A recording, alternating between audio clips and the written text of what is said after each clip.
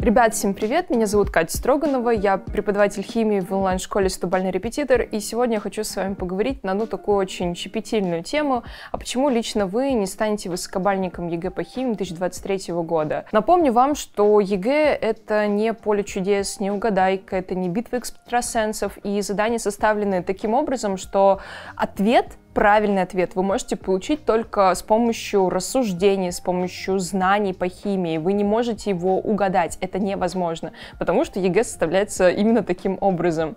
Поэтому имейте в виду, что да, высокобалльником стать не так просто, и вот я сейчас хочу проговорить какие-то типичнейшие ошибки, и вот почему вы не станете. Но, возможно, вы исправите эти ошибки, и в итоге все-таки станете. А напомню, что в ЕГЭ по химии есть такая небольшая особенность, что баллы до 80 набираются довольно-таки тяжело. А высокобалльником считаются те ребята, которые сдали ЕГЭ на 80 плюс баллов. Соответственно, получается, что вот эти вот баллы от 0 до 80 набираются крайне тяжело, потому что рост не такой большой. Один балл первичный дает не так много вторичных баллов, поэтому вы прям вот с максимальным трудом набираете эти 80 плюс баллов, а потом после 80 баллов набираются намного быстрее. И, соответственно, если вы решаете вторую часть, то получить 80, 85 и даже 90 плюс баллов намного а, более вероятно, чем если вы не решаете вторую часть вот вообще от силы никак. И, ребят, конечно же, поскольку ЕГЭ это не угадайка, а, вы не сможете стать этим высокобалльником, вы не сможете наработать 80 а, баллов, если вы не знаете хорошо химию как предмет, если у вас разрозненные знания, если отсюда кусочек, отсюда кусочек, если вы учите химию не прям вот так вот целенаправленно, последовательно, а просто запоминаете какие-то схемы, таблицы, больших баллов вам, к сожалению, не видать, потому что, опять же, это заложено в решение заданий, что вы должны понимать, что откуда берется, а задание задания очень часто бывают на прям знание и на подумать. Это ну, не просто а, какие-то схемки, которые не связаны, допустим, с настоящей химией, а прям действительно нужно рассуждать. Поэтому если вдруг а, у вас какие-то такие неуверенные знания конкретно в предмете, это может быть первой причиной. А вторая причина это то, что вы можете решать задания, вот просто какие-то задания, там, например, после параграфа в учебнике, а, допустим, даже какие-то как бы ЕГЭшные задания, но которые уже не актуальны и не похожи на задания настоящего ЕГЭ. В общем, вы решаете неактуальную практику. Это еще может послужить одной причиной а, маленьких баллов, конкретно на настоящем уже экзамене, потому что все равно вы должны вот в течение всего этого учебного года а, были привыкнуть к настоящим а, заданиям, чтобы вы понимали, что откуда берется. А следующее — это то, что вы не знаете, чего от вас хотят в том или ином номере, и вы вот не понимаете, за что хвататься, когда вы читаете задания из КИМа ЕГЭ. Вы должны быть настроены, нацелены, натренированы конкретно на формулировке от составителей и настоящего ЕГЭ. Не вот абы какие, да, а вот прям вот то, что вас потенциально будет ждать на экзамене. Следующее — это то, что вам на настоящем экзамене может в итоге итоге не хватить времени, чтобы прийти, приступить, например, ко второй части. И это тоже может послужить причиной, почему вы не станете в итоге высокобалльником. Нельзя КИМ решать э, очень долго, потому что, конечно, когда вы увидите КИМ на настоящем ЕГЭ, это ну, будет что-то новенькое. Во-первых, вы сами по себе будете стрессовать, во-вторых, это в любом случае будут, конечно, задания похожие на старые, но они будут новые, в особенности вторая часть, она меняется каждый год.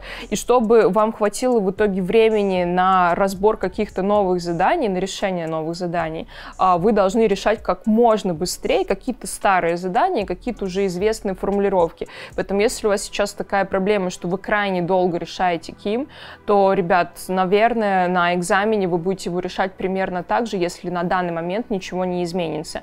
Имейте в виду, что экзамен у вас а, три с половиной часа, и, соответственно, было бы здорово, если бы КИМ вы решали примерно за час а, с небольшим это нормально. Если будете решать меньше, это еще лучше. Соответственно, за это время вы решаете как первую, так и вторую часть, а за оставшееся время вы дорешиваете эти задания, которые у вас не получились, и думаете, потому что, чтобы подумать, конечно же, нужно время. А на экзамене оно будет лететь вот просто как, э, просто со скоростью света будет лететь. Поэтому нужно крайне быстро решать, чтобы потом был запас времени, чтобы себя перепроверить, решить то, что не получилось решить с первого раза, еще раз перепроверить и еще раз перепроверить, и в итоге уже а, переписать окончательные ответы в бланке и сдать экзамен. Ну что, вот наши киты, на которых а, держится неудача на экзамене, да, что в итоге вы не станете высокобальником, это плохие неуверенные знания разрозненные, и по факту, когда вы не уверены а, в своих знаниях, вы как бы не уверены в себе. И вот имейте в виду, что вот на экзамене очень большая такая вот часть, она зависит еще от вашего эмоционального состояния, что если вы сильно переживаете, если вы просто трясетесь, как осиновый лист, то, возможно, на экзамене это тоже все сыграет с вами злую шутку, потому что мозги просто отключатся. И чтобы быть максимально уверенным в себе, надо надо быть уверенным в своих знаниях, каких-то вот хотя бы базовых. Допустим, вы не будете там решать, опять же, 34-ю задачу и какие-то другие сложные задания, но какие-то базовые знания, и чтобы вы вот могли в какой-то непонятной ситуации сориентироваться, чтобы они были хорошие, вы были в себе уверены. Затем прорешать все то, что было на ЕГЭ в прошлых лет, и решать какую-то актуальную практику. Соответственно, это тоже будет придавать вам уверенности в себе. Следующее — это понимать, чего от вас хотят на заданиях, и это тоже уверенность в себе. Ну и последнее — это решать как можно быстрее вообще прийти вот на экзамен, открыть аудиторию с, ну, чуть ли не ноги, это я условно говорю, но что вот прям действительно быть уверенным в себе и прям получить ким и сразу все решить. Вот когда вот все это у вас будет, вот тогда будет шанс того, что вы станете высокобальником. Я в этом уверена.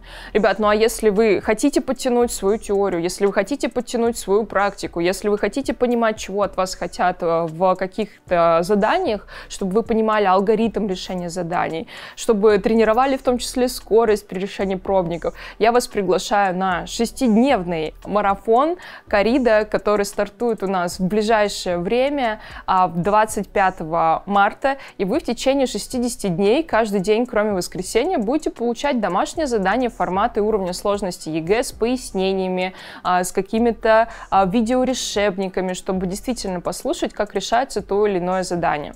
А состоит из двух частей. Это первая часть и вторая часть. Вы можете принять участие только в первой части, можете принять только во второй части, а можете принять участие во всех частях сразу. И вот таким вот каждый день работая по чуть-чуть, вы в итоге просто прокачаете так свои баллы, что вот никто так не прокачает, как вы. Соответственно, каждодневная работа, она, конечно же, более эффективная, чем работать по много, но один день. А так вы решаете до там, 30 заданий тестовой части, до 10-15 заданий второй части, и, конечно же, каждодневная практика, вот считайте, вы по факту каждый день решаете пробники. Оно очень сильно в итоге повлияет на вашу уверенность себе, потому что вы действительно придете на экзамен, увидите или что-то похожее, или в точности такое же, или даже если что-то будет, ну, прям супер новое, я уверена, что вы сможете порассуждать и правильно ответить на все новые какие-то формулировки, на все новые задания. Соответственно, Карида, она направлена не только на то, чтобы как-то систематизировать э, свою практику, свои вообще знания, свою подготовку,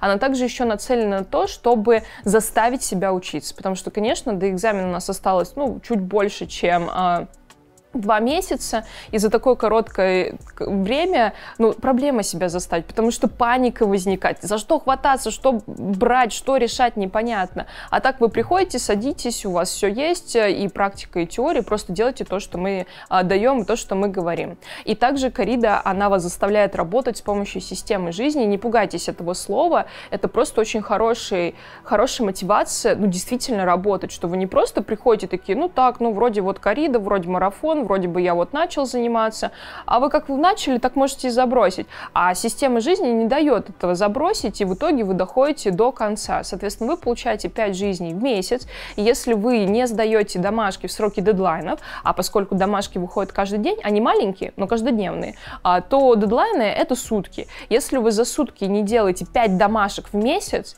то, соответственно, вы вылетаете с марафона. И чтобы этого не произошло, конечно же, максимальная мотивация заниматься заниматься каждый день.